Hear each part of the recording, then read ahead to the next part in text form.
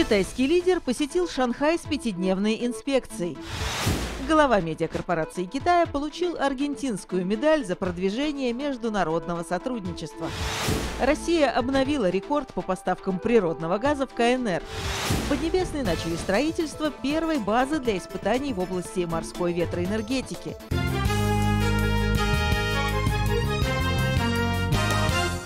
Председатель КНР Си Цзиньпин совершил рабочую поездку в Шанхай. Во время пятидневной инспекции глава республики посетил Шанхайскую фьючерсную биржу, побывал на выставке научно-технических инноваций и проследил за реализацией проектов по аренде жилья с государственными субсидиями.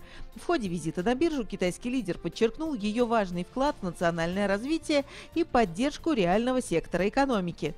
Си Цзиньпин изучил основные рабочие процессы организации, высоко оценил распределение распределении ее ресурсов и поставил задачу повысить ее статус до мирового уровня.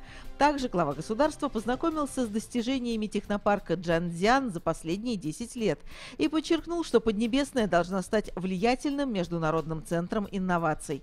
Во время общения с чиновниками и учеными Си Цзиньпин призвал уделять больше внимания кадровой подготовке и раскрытию потенциала сотрудников. Важной частью программы стал визит китайского лидера в жилой комплекс, где приезжие и молодежь могут снимать квартиры по доступным ценам. По словам председателя КНР, трудовые мигранты – важная категория населения, поэтому их важно наделить широкими правами при аренде жилья. В ходе поездки Си Цзиньпин выслушал подробный доклад о достижениях Шанхая и поручил местным властям укреплять финансовые институты и инфраструктуру. Одна из главных задач городской администрации – построить международные международные центры экономики, финансов, торговли, судоходства и научно-технических инноваций.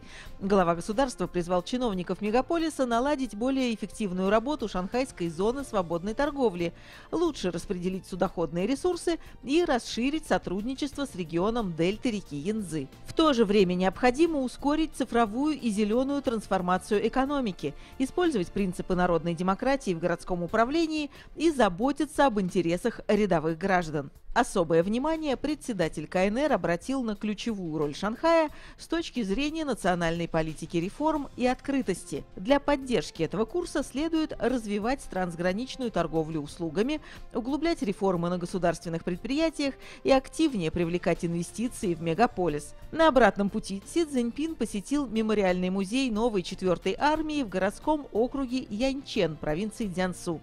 Китайский лидер отметил высокие моральные качества и храбрость бойцов этого формирования, призвал строить сильную нацию и модернизировать страну с опорой на народ.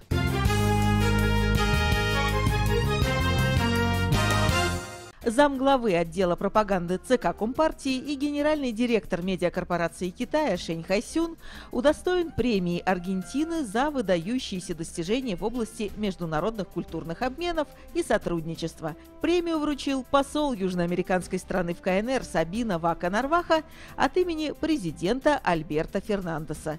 Это последняя медаль, которую глава республики вручил иностранному гражданину перед окончанием срока своих полномочий. Аргентинский лидер лидер подключился к церемонии по видеосвязи. Он высоко оценил уровень отношений с Поднебесной и вклад Шень Хайсюна в культурные обмены и взаимодействие между народами двух государств.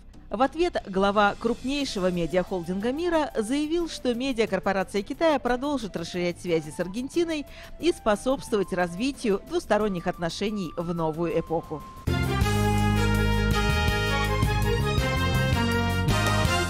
Поднебесная получила рекордный объем российского газа. Более 20 миллиардов кубометров голубого топлива пришло в КНР с начала года по восточной ветке газопровода «Сила Сибири». Такие данные опубликовала китайская трубопроводная компания Pipe China. Россия начала снабжать восточного соседа газом по этой магистрали еще 4 года назад. За это время общий объем поставок достиг 50 миллиардов кубометров. Из них на первые два года после запуска ветки пришлось 14 миллиардов, а на прошлый год уже 15 миллиардов. К 2025 году страны планируют довести ежегодные поставки голубого топлива до проектного уровня – 38 миллиардов кубометров.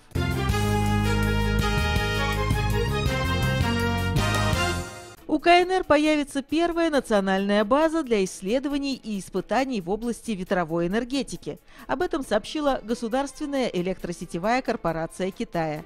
Несколько компаний из Поднебесной уже начали совместными усилиями строить уникальный объект в провинции Фудзянь. Эксплуатацию полигона планируют начать в следующем году. Инженеры будут проводить на базе эксплуатационные испытания и детальный анализ перспективных разработок, чтобы лучше оценить их возможности. Новый комплекс может стать площадкой для передовых исследований мирового уровня, в том числе для тестирования морских ветряных турбин высокой мощности.